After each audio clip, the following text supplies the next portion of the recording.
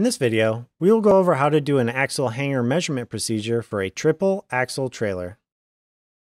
The tools required to perform this procedure include a pen or pencil, a tape measure, document TI-115, and possibly a camera to take clear pictures of all points of issues.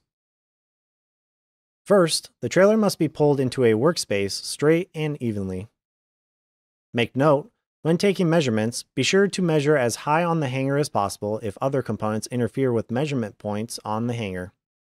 Starting on the curbside, measure center of axle hanger to intersection of main rail and front crossmember for T1.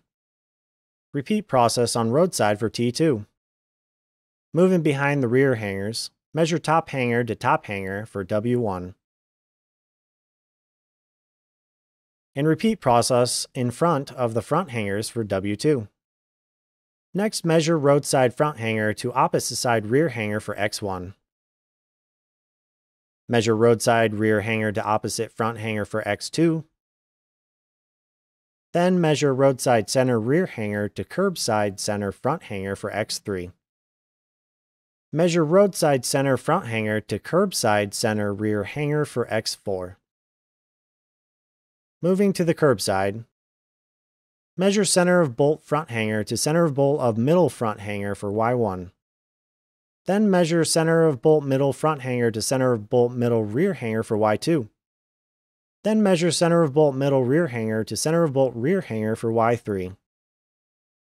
Then measure outside front hanger to outside rear hanger for Y4. After that, repeat process on roadside for Y1, 2, 3, and 4.